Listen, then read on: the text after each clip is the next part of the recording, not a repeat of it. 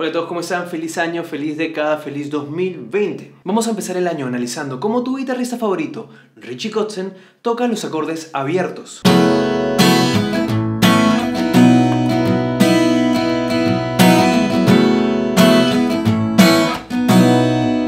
Sobre todo cuando Richie Kotzen toca guitarra acústica, vamos a encontrarlo tocando este tipo de acordes.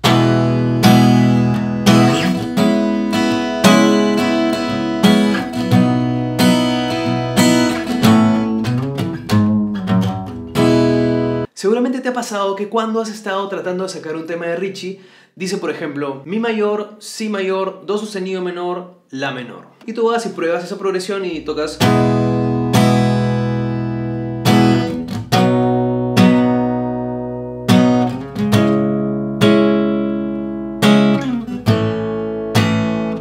Son los acordes, pero Richie no los toca así.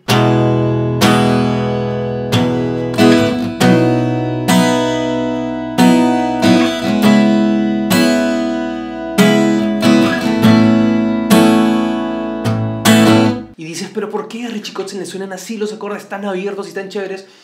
Serán sus ojos azules, su cabellera perfecta, o te parecen los acordes re mayor, la mayor y mi mayor, y tú los tocarías así.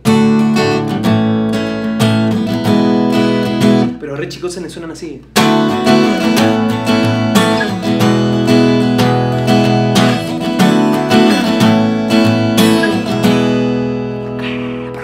Vamos a hacerlo en cuatro pasos. Paso número uno tocar el bajo en la sexta cuerda con el pulgar. Pongamos que vamos a tocar fa sostenido, después vemos si mayor o menor. Vamos a poner el pulgar en la sexta cuerda en fa sostenido. Si no tienes aún la costumbre de tocar con el pulgar en la sexta cuerda, podrías ponerlo como resolución de año nuevo para el 2020. Tocar con el pulgar en la sexta cuerda. Paso número 2, armar el power chord, el acorde del poder. En la quinta cuerda vamos a tocar la quinta. La quinta es acá. La vamos a tocar con el anular. Y la octava, en la cuarta cuerda, la vamos a tocar con el meñique, con el dedo 4. Entonces es como si tuviéramos este power chord, pero en vez de tocar el bajo con este dedo, la vamos a tocar con el pulgar. ¿Ok? Lo que nos lleva al paso número 3, definir la calidad del acorde. Si necesitamos que el acorde sea mayor o menor.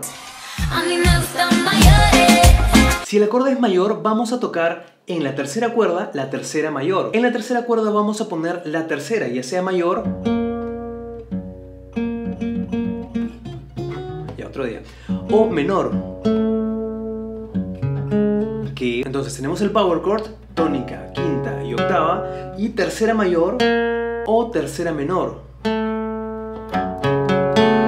Mayor, menor. Y ahora sí, finalmente, el paso número 4, que es tocar la cuerda 2 y la cuerda 1 al aire. Ejemplo número 1, Fa sostenido mayor tendría tónica, quinta, octava, tercera mayor y cuerdas 2 y 1 al aire.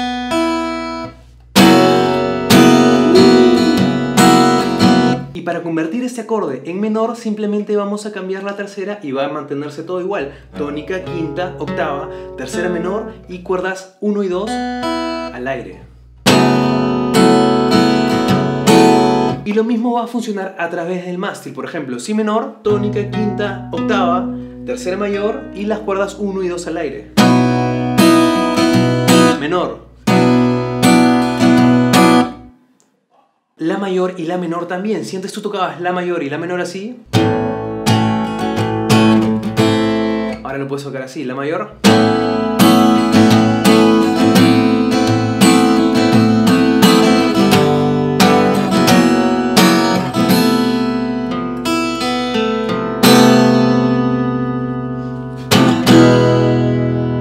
Ya, ese es el gran secreto de Richie Kotzen para tocar acordes abiertos.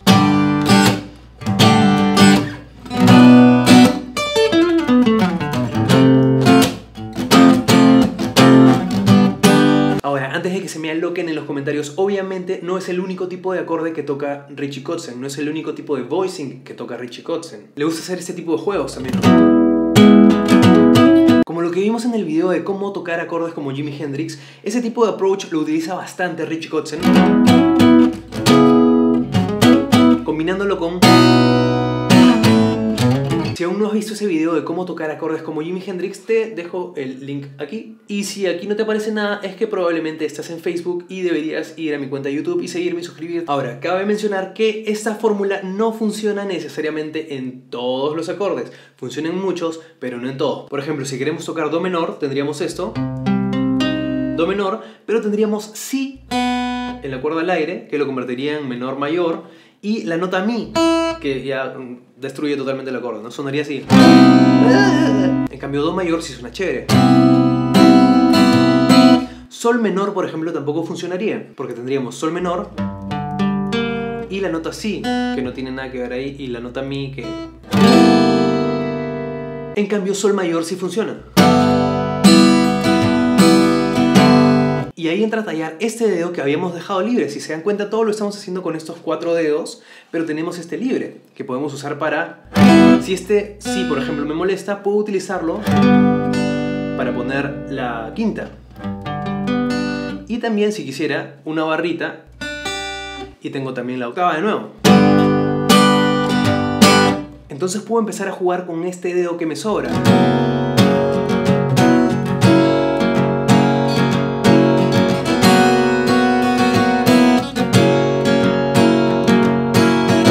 Puedo hacer ya un trabajo un poco más melódico con más opciones en el top de mis acordes abiertos. Pero eso no te lo va a enseñar Richie Kotzen. Tú vas al DVD de Richie Kotzen y está...